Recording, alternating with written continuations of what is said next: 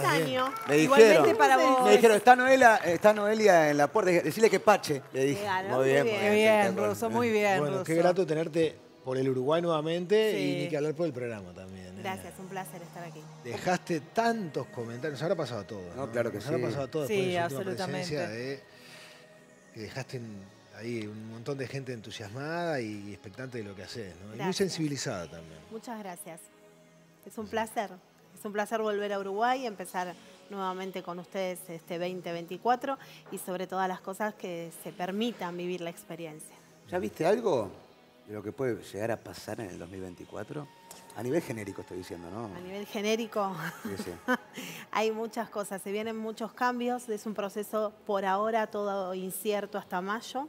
A partir de mayo, para todo lo que corresponde a Latinoamérica, se viene mucha inestabilidad y van a tener que tener mucho control y austeridad, todos los gobiernos. Bueno, ya hay algunos lugares, como por ejemplo Ecuador, que hay una situación realmente compleja y crítica, ¿no? Pero decís que eso va a Eso va a empezar como a trepar expandirse. si no se toman eh, cartas en el asunto antes del cierre de mayo. Uh, Antes del cierre de mayo, si no toman decisiones, se puede Sí, venir ojalá no estén escuchando. la catombe. Se puede venir muy complicado. Y en relación a eso, cada país va afectando también al otro, porque bueno, esto de, de convivir dentro de este continente genera eso. Bueno, lo que pasa en Ecuador es horrible. Ahora justo mataron al, Sí, sí, al fiscal que al está fiscal que estaba a cargo de... Hay un desmadre generalizado Claro. que a nivel mundial, si no se frena, vamos a tener un proceso a partir del 2026 sumamente crítico.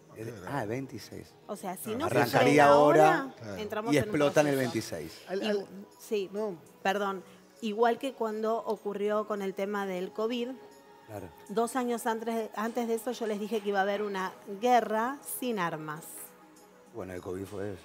Cuando comenzó lo del COVID les dije que esto no estaba resuelto y que si no ponían algún freno y la gente no se co- concientizaba y no se generaba un estudio avanzado, a partir de lo que era la mitad del 2024 en adelante íbamos a tener otros dos virus que iban a ser sumamente peor.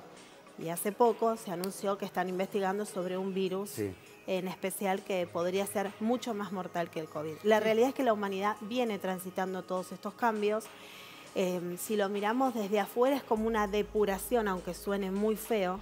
La naturaleza va generando estos movimientos, movimientos sísmicos, las inundaciones que están desbordando sobre todo el norte argentino y también en algunas situaciones va eh, generando Brasil, en el otro país. ¿no? Claro. Así que a tomar conciencia, pero bueno, es el humano el que debe tomarla. Digo, tú eh, sos eh, medium, vidente, tarotista también. ¿Qué es eh, a lo que la gente más recurre de, de vos? Porque a mí me decís, conocer o poco proyectarte el futuro está interesante también, está bueno. Está bueno saber qué es lo, qué es lo que se viene. Pero también está bueno eh, comunicarte con los que ya no están. Yo soy medium, mi naturaleza es esa. Como vidente, la capacidad me permite poder acompañar la mediumnidad.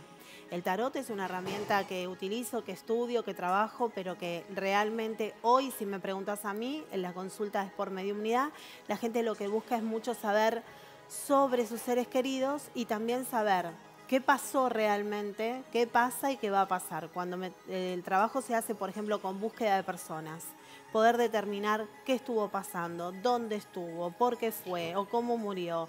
Eh, vengo de hacer ayer en la ciudad de Buenos Aires presentación en el Paseo de la Plaza y hubo casos donde estaban pidiendo búsqueda y otros, eh, eh, es más, el caso de Gaza. Yo hace, estoy trabajando con la franja de Gaza desde que comenzó, buscando, eh, dando información de quiénes son los próximos a informar que están vivos y quiénes están fallecidos. Es un trabajo constante y las familias llaman y sobre todo esos bebés, porque creo que mm, Pobrecito. el ser humano va aceptando lo de la persona adulta, pero lo de las criaturas es lo que no terminás como de, de- de Entender. aceptar ni entender nunca. Y casualmente ayer se presentó una persona que es la que con la que mantengo el contacto y voy pasando al listado. ¿Qué plazo tiene, por ejemplo, las cartas? Vos tirás las cartas. El ¿Qué pla- tarot no, es no, una- No, no, está bien. Vos lo lees, pero yo- eh, la pregunta va por otro lado. ¿Qué plazo tiene para que pueda llegar a pasar lo que vos estás leyendo? Porque mucha gente piensa, me tiro el tarot y al otro día me va a pasar lo que vos estás No, diciendo no. o se predispone Hay a que que, le, tener pa- a que le mucha pase. conciencia. Pero hay un plazo determinado de... Porque, por ejemplo, si no me traería las cartas todas las semanas para ver qué pasa. Claro. Hay un plazo de lo que vos me estás leyendo Sí. que está mal. Eh, vos me estás leyendo el plazo, bueno, en un año te puede pasar todo esto, o de dos años, o en una semana, o me tiro las cartas toda la semana. Yo lo que les voy a explicar como tarotista es, el tarot es una herramienta que se debe utilizar de forma concreta, cuidada y no es algo para consultar todos los días. Bien. De hecho, mis pacientes no consultan todos los días porque no, no se los dejo. ¿Está bien? Mínimo son tres meses, seis, de acuerdo a la situación. Bien. Tiene que ser concreta la pregunta. En mi caso, mi evidencia es la que favorece y lo que doy es exactitud en tiempos. Vos me preguntas en cuánto tiempo tanto, yo te voy a marcar en cuánto tiempo tanto. Y de hecho ocurre. Ahora, como mi dedicación es mayor como medium, también surge esto de, tengo a la persona en terapia intensiva y quiero saber cuánto queda o qué está pasando. Y ahí se trabaja. Entonces, mi exactitud va más allá de la herramienta, sino de mi, mi capacidad. Energía. Noelia, este, venís ahora al Uruguay con la mediumnidad. ¿Es el mismo espectáculo que presentaste la otra vez que nos estuviste visitando? Yo digo que va, va cambiando porque a veces no son los mismos que van, Claro. las almas van cambiando, los mensajes también. El encuentro de mediunidad que presento 19 y 20 en el Enjoy en Punta del Este es similar a, a lo que venimos haciendo en Montevideo, pero hay cositas nuevas, sobre todo para trabajar y para que la gente se empiece a llevar también esta parte de sanación que tiene la mediunidad. Yo siempre digo que la mediunidad te puede sanar, el conectar, el poder resolver, cerrar ciclos, el saber que aquel que creías que se fue enojado o con quien creíste que terminaste enojado porque no, no se saldaron algunas cuentas, no se pudo hablar, eso se puede cerrar en estos encuentros que estoy presentando, en este caso 19 y 20 en el Enjoy de Punta del Este, pero vamos a venir todo el año si, si el universo lo permite. 9 de la noche, 19 y 20 de, de enero, allí en, en Enjoy de Punta del Este. Para la gente que vaya, que quiera ir, eh, y ah, les agrego que las entradas están en su ticket. ¿No? Sí. Las consiguen, las pueden, pueden conseguir su lugar en su ticket. Para aquellos que eh, quieran ir, vayan. Hay que ir bien dispuesto. Hay que ir con ganas. Claro, puede, puede estar aquel que dice, "Ah, a ver, a mí si me... eh, no A creo". probarte, Van, van a un medirte, montón. a medirte, eso van, a van un montón, van un montón. Claro. Van un claro. montón, van un montón que te preguntan, no sé ni para qué vine, me invitaron. Y también son los que después se dan cuenta que en realidad no es que no vinieron por nada, sino que vinieron por muchas cosas. Esto ocurre siempre. Que no fue casualidad. Pero que creo que es una ahí. forma de preservarse. El Claro. ser humano siempre intenta preservarse, cuidarse. Y no escapa esto. ¿El todo lo escepticismo es una forma de preservarse? Sí, el escepticismo es, tengo miedo que me digan la verdad. Entonces Ah. yo no creo en nada. ¿Por qué no funciona, por ejemplo, vos capaz que ves algunas cosas, no estoy diciendo que no, pero, por ejemplo, lo que vos premeditas o ves en, en- en ti? Una vez te escuché en una nota que decía, bueno, yo sé, por ejemplo, a veces veo números, ¿no? Y, y le dije a tal persona, jugale a tal número. Y ganó. Fue, fue y, y ganó. Entonces, claro, yo estaba pensando también, vos si querés podría, podrías ver, y digo, bueno, le juego al 5 de hora que sería la quiniela y, y sa- y sacaría. ¿Por qué no funciona con uno mismo, contigo en este caso? Siempre que lo pregunté a otras, a otras personas que, que pasan lo mismo, se dice que el universo ya nos da la posibilidad de poder trabajar y beneficiar a otros Bien. con nuestra labor y que sería como poco equitativo. Así que yo lo tomo así. Lo tomas así. Sí, yo creo que es más la devolución que yo recibo de parte a quien le doy una cifra o, o a quien le digo cómo van a ser las cosas, em, que después es el boca en boca, la gente se anima y poder ayudar a, a un montón. Eso es, esa es la recompensa que yo recibo del universo. Sabes que este, yo estaba pensando un poco también, tu manera de trabajar, vos, vos te propusiste algo que era reservado a un espacio íntimo, mano a mano, con, Mm. con una persona, eh, lo hiciste masivo. Sí, Eh, que, que mucha gente que nada tiene que ver, que ni conoce a alguien que suele escenario, sea testigo y hasta partícipe. Sí, pero de- se de encuentran ahí, ¿eh? Bueno, ahí va, ahí va. Pero a vos eso te genera además también un desgaste emocional, físico, diferente a si charlamos una mesa mano a mano nosotros. Es exactamente lo mismo. Si yo cuido mi energía, protejo la apertura de portal y el cierre y mantengo equilibrado el campo energético mientras que trabajo, no tiene que pasar absolutamente El nada. portal y el cierre, el portal es personal, El portal que yo abro en cada encuentro es masivo. es masivo. Es para preparar a los que vienen. A o sea, yo. No solamente abro mi portal, sino que estoy abriendo el portal que va a contener a todos los que asisten en la entrada, durante el encuentro y en el cierre. Y te pasa, por mucha gente que se está predispuesta, que va y sube y cuenta su historia. Sí. Entonces uno capaz que ahí es mucho más fácil para vos porque está la, la energía, ¿no? Somos seres Sí. de energía. ¿No te ha pasado estar ahí en el escenario y ver a tal persona, estoy ahí, estoy viendo a Marcelo, y le empezás a decir las cosas? Lo Sí. que estás viendo, ¿te ha pasado? Sí, pasa, es constante, es la forma en que trabajo en todo, durante todo el encuentro. Y lo, se lo decís igual porque capaz esa persona fue a acompañar y no... Yo se lo, se lo digo, le- primero le pido permiso, le aclaro qué es lo que estamos trabajando. Ayer casualmente, para que sepan que es algo fresco, que pasa Bien. todos los días, eh, sube una de las chicas, la elijo, la hago subir y me dice, no, yo vine por mi mamá. Ah, le digo, ¿tu mamá dónde está? Está, en- está, en el- eh, está sentada. Le hago levantar a la mamá y en ese momento que hago levantar a la mamá me doy vuelta y le digo, ese gestito que estás haciendo es igual al del abuelo y la contestación para mamá es esta, se la doy a la madre, me doy vuelta y le vuelvo a dar el mensaje a ella. Y se la- largó a llorar. Me dice, yo pensé que venía por ella. Después pasó que una mamá eh, me, se levantó y me gritó, porque yo estaba en la otra punta del teatro, y me dice, yo necesito con mi hija conectar. Y las madres son las que movilizan todo, las que mueven cielo y tierra. Sí. Detrás de ellas se, se levantaron tres más. Esos son mensajes indirectos, pero había algo en común. La mamá que se levantó primero mencionó una fecha. Cuando me doy vuelta y la miro a la otra mamá, dice es la misma fecha en que murió mi hija. Y cuando giro hacia ver la tercera, me dice es el número de mi hijo. O sea, eso es mensaje. Claro, indirecto. claro. Las conexiones están dadas antes de que lo que nosotros creemos que empezamos. Claro. Este, Noelia, este, vos hablabas recién que se convierte en algo seguro incluso para vos y tu energía porque este, sabés cómo abrir el portal, cómo cuidar este, la energía mientras y cómo cerrarlo. Claro. Pero me imagino que esto lo habrás ido también aprendiendo con el tiempo. Sí, son muchos años. Claro. Al principio, cuando vos empezaste a descubrir estos dones y estos- Sí. este talento en ti, eh, ¿te pasó de repente impactarte o asustarte con alguna situación nueva para vos que en ese momento te superara, que ahora no porque ya manejás? Sí, eh, de hecho no solamente impactarme. Yo después que cumplo los 15 años, por no manejar la energía como la tenía que manejar, para los médicos era una hemiplegia.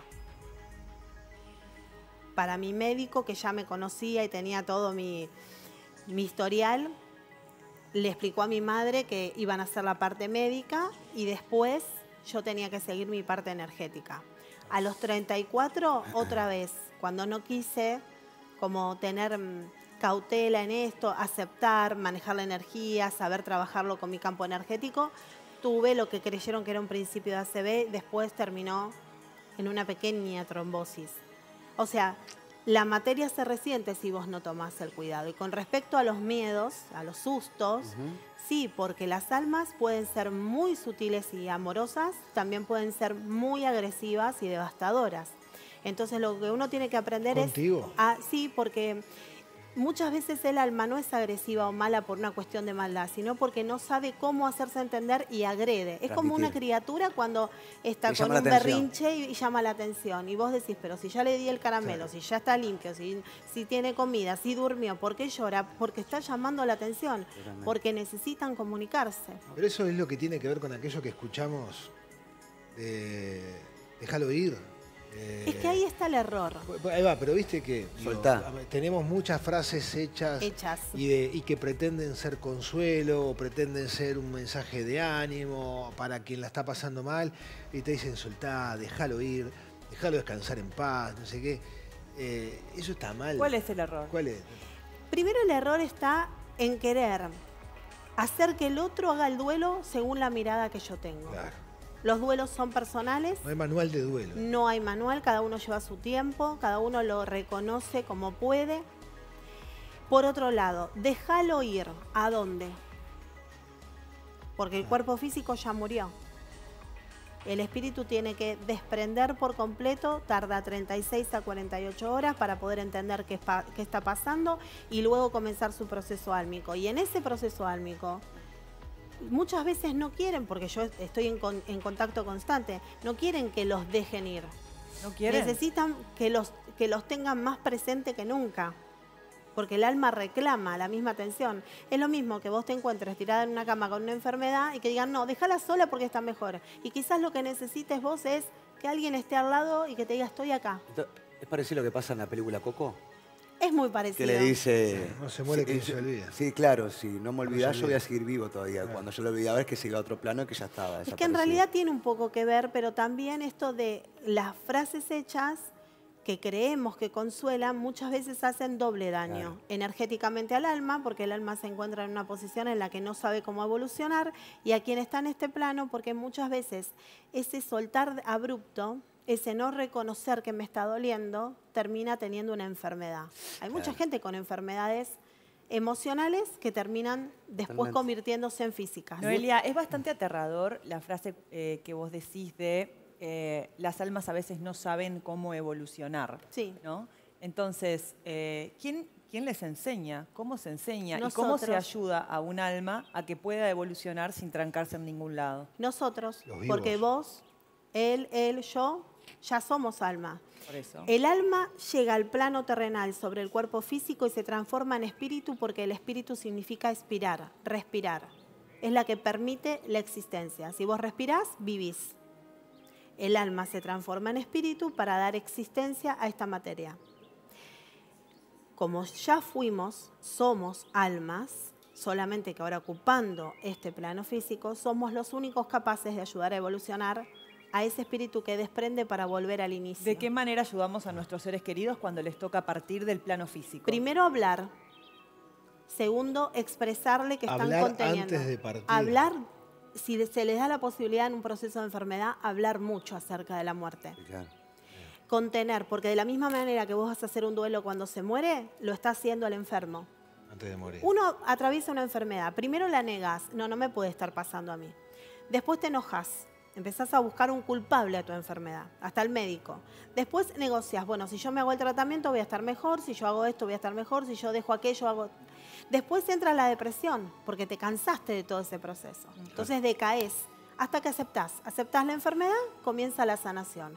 Que muchas veces aceptar la enfermedad y comenzar la sanación, la sanación no equivale a vida, también equivale a buena muerte. Claro.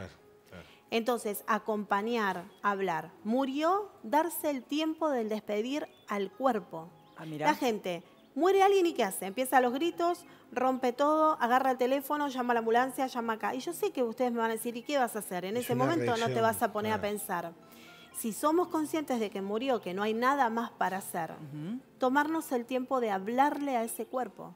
Porque si fue tu madre, fue la que te trajo a este mundo. Si fue tu padre, fue quien trajo a esta criatura y quien contuvo y que te crió.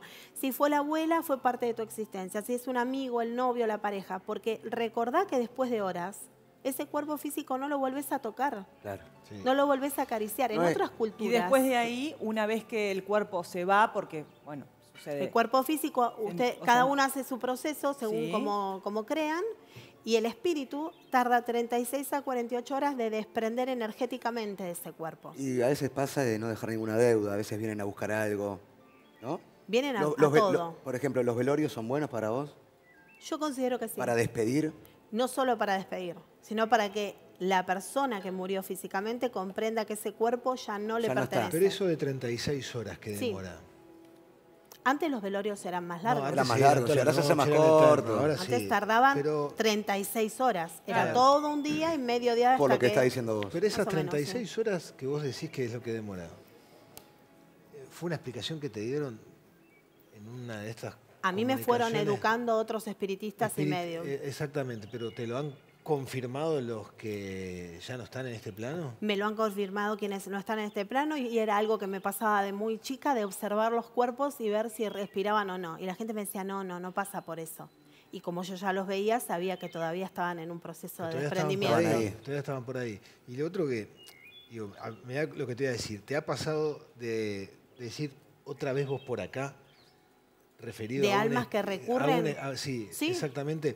Y eso te genera vos algún vínculo, no digo afectivo, pero desde el punto de vista emocional, con esa alma, con esa historia. Hay momentos en que esos vínculos se generan, sí al, nivel emocional, y yo puedo ir viendo cómo evolucionan las mamás. Hay un caso muy particular que es de aquí de Uruguay, que es la mamá de Santiago, que la nombro porque ella incluso me ha venido a buscar a la, a afuera de, de los canales. Em, cada tanto conecto con su familia, porque Santiago va dando información y va evolucionando, y poder ver que esa madre, ese padre y esa hermana van comprendiendo qué pasó y van intentando armar su vida de nuevo, para mí es una tranquilidad.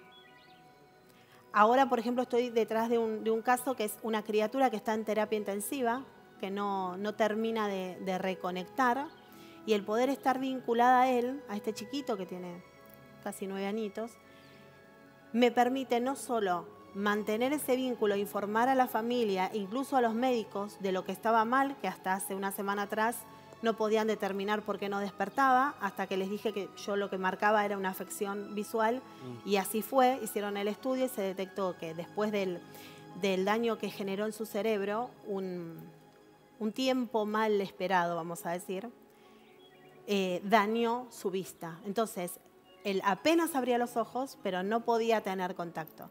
Y toda esa información, que solamente voy a decir que es B, porque no puedo decir el nombre, me permitió a mí no solo en- enlazar una relación con él, sino con su mamá, con su papá, No. con sus médicos y poder ir acompañando. No, eh. Ese espíritu necesita esa conexión constante. ¿no? ¿Y y con qué te descargas vos? Porque no debe ser fácil. Vos estás con los espíritus, con la gente, te involucrás, pues me imagino más allá de todo, Sí, es esa siempre. conexión entre el espíritu o la, o la situación con la persona que está eh, aquí todavía. Es una carga emocional tremenda.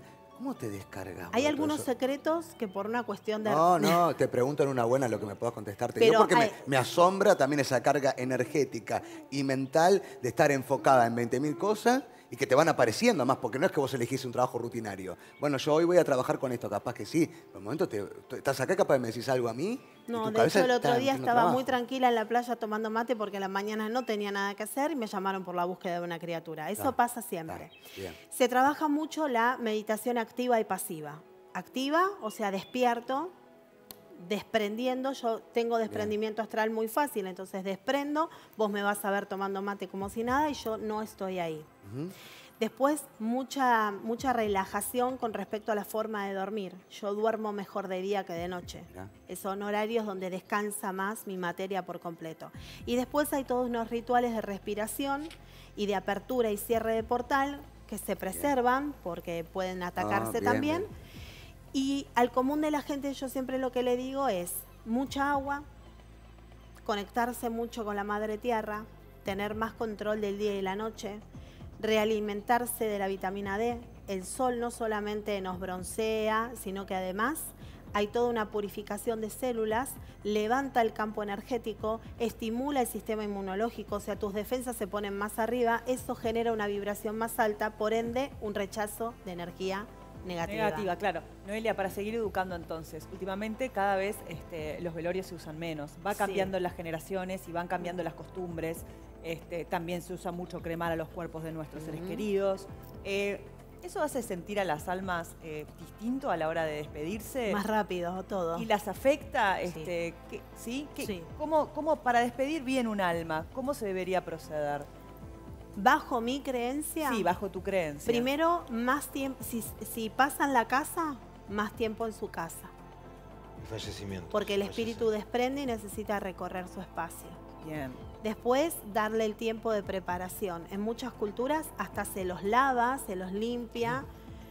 Lamentablemente en la cultura que en la que vivimos nosotros es todo tan rápido, tan, Por tan rápido, que ni siquiera el respeto a ese cuerpo. La pandemia nos destrozó los respetos y la educación desaparecieron, todo lo contrario a lo que tenía que suceder. No había ni velorio. Después, el silencio ayuda mucho, porque el silencio no solo ayuda a encontrarse a quien está padeciendo el duelo de que alguien murió, sino que el alma, que recién está dando sus pasos en esa otra existencia, en esa otra forma de vida, tiene que encontrar la forma de comunicarse. Y el silencio, que es una energía muy hermosa, que conecta muchísimo, es la primera que utilizan. Por eso la gente te dice, y yo estaba ahí, sentí como un aire, como si algo pasara, pero era todo tan silencioso. Claro. Bueno, el alma. Después poder hacer esos velorios donde cada uno de los seres que fueron parte de esa existencia con ese ser puedan pasar y despedir la materia.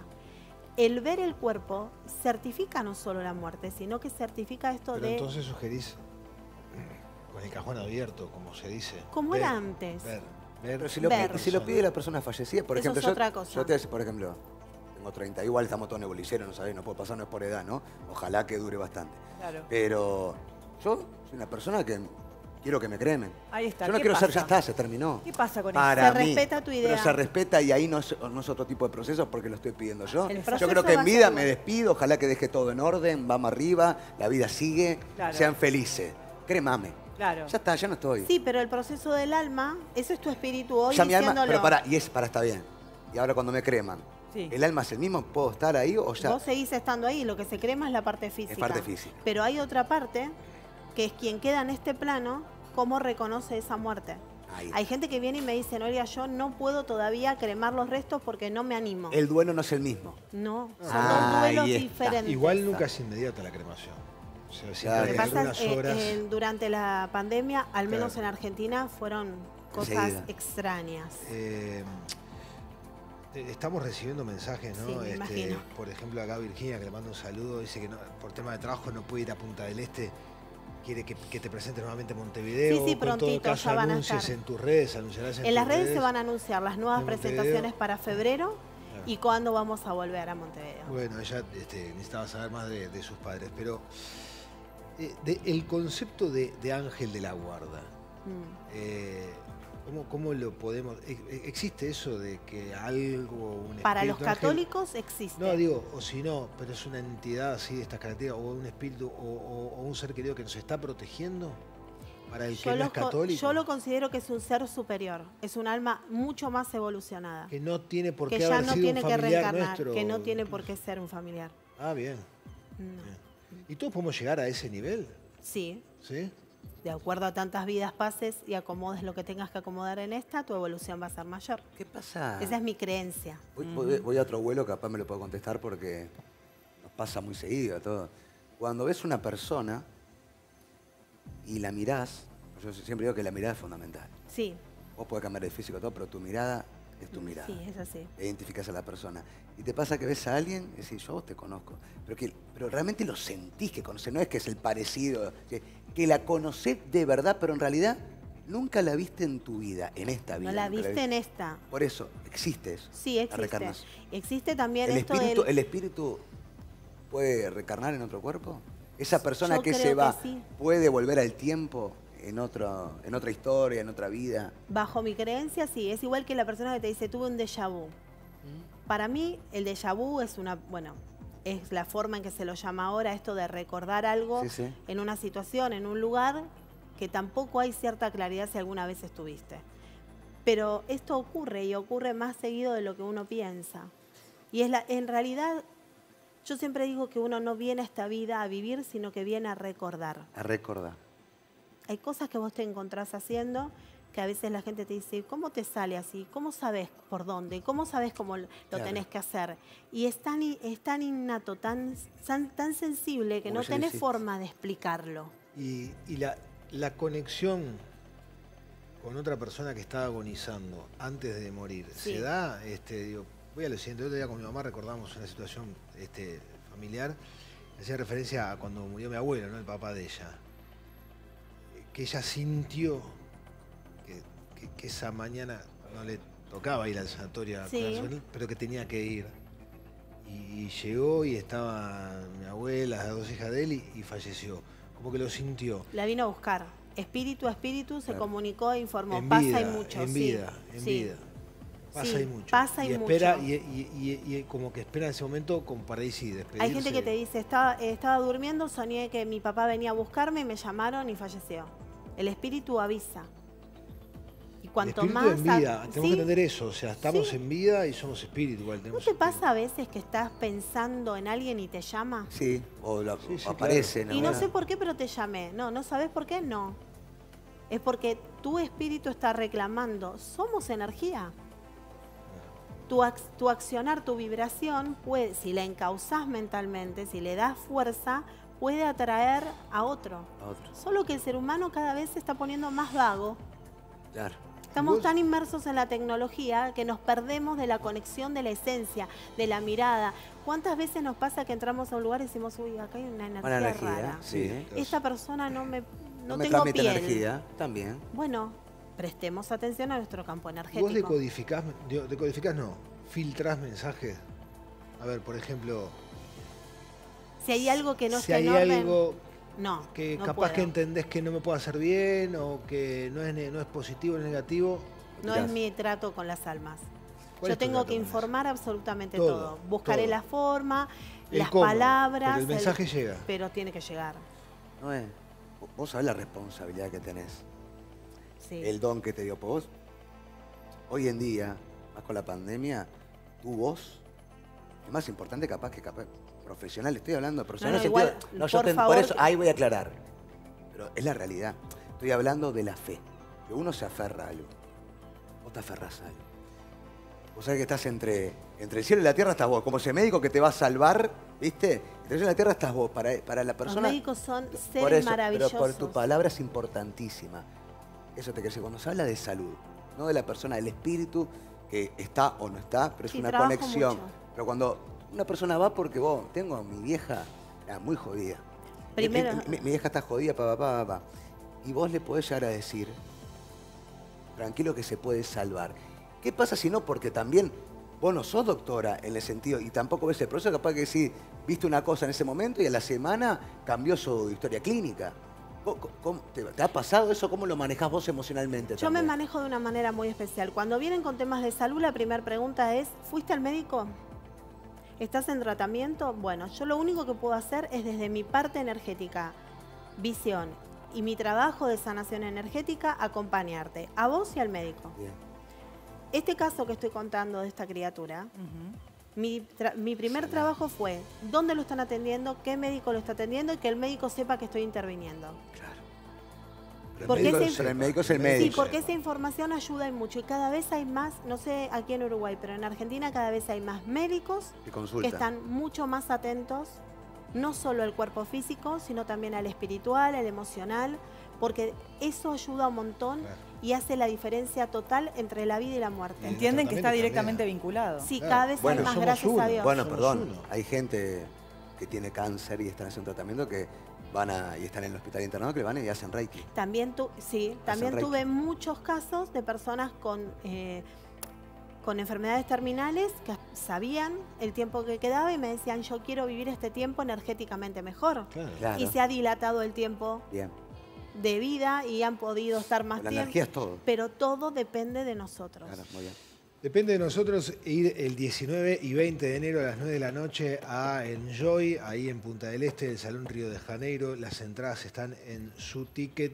Aquellos que por temas de trabajo, de disponibilidad, de compromisos no puedan ir, sepan que en breve este, Noelia estará aquí en- en Montevideo generando lo que genera cada vez que viene acá. ¿eh? No, es tremendo, estudio, un silencio total, total. una atención de absolutamente todos. Y yo, para redondear, no importa quién, no importa a quién o quién, pero durante toda esta charla, ¿hubo quien te estuvo golpeando el hombro acá? Sí, ¿Sí? sí. No fue Borneo porque se fue. ¿eh? No, No, no, pero no, alguien dijo que te faltó un condimento en el revuelto gramajo. Le está hablando a Marcelo que está detrás de cámara. Marce Borneo está detrás de cámara y vos recibiste un mensaje de que le estaría faltando un Te faltó un condimento. condimento, pero lo haces muy rico, mejor que yo, dice. Le faltó condimento, lo hace mejor. Mirá ¿Quién te enseñó a hacer gramajo? No me importa, no importa, pero bien, Bueno, bien. entiendo el mensaje. Entiende el mensaje porque en realidad no es que, que se lo enseñó. El proceso de él como cocinero es desde otro lugar. La relación de él con esa comida va más allá. Apa. Muy bien. Bueno, muy bien. Y eso fue lo que. Si yo lo tengo que marcar como me lo hace sentir, es una mezcla como a comino o una especie muy parecida. Faltó un poquito más de eso. No le pongas con vino igual. Por favor, te Pero a ella le gustaba, a vos no. A mí no me A gusta. ella co- dijiste. A ella, ah, Dijiste a eso ella. quería saber. Dijiste a ella. Ella. Está bien.